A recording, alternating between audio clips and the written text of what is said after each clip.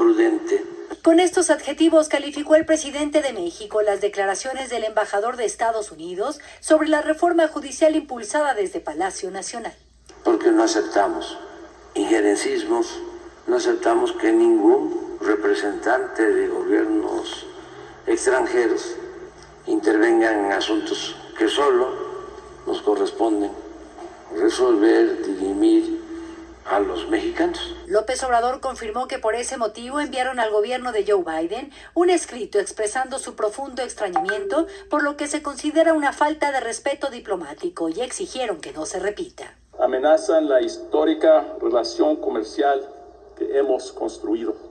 Un día antes, el representante de la nación norteamericana, Ken Salazar, indicó que elegir a los jueces por voto popular, como plantea la iniciativa que se está discutiendo en el Congreso mexicano, representaría un riesgo para la democracia y la relación comercial entre ambos y Canadá.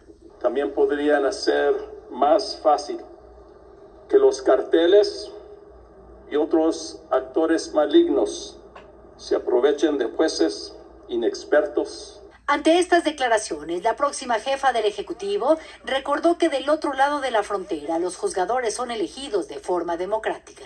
Respetamos su posición, pero no coincidimos